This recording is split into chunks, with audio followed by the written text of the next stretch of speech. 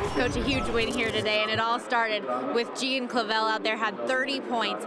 He was amazing. He was the Mountain West Player of the Year for a reason. Yeah, he's terrific, uh, and he's unselfish. I mean, he really, he kind of started out when he came back to the team with, you know, you got to have the LeBron theory where LeBron will go the first quarter and not even shoot the ball.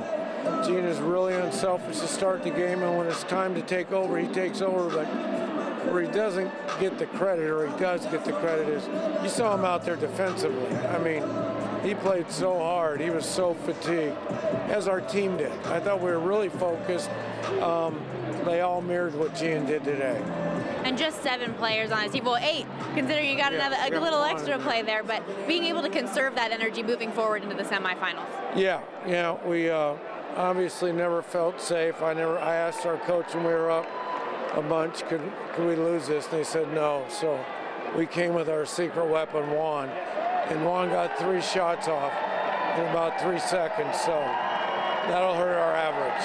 Congratulations, Coach.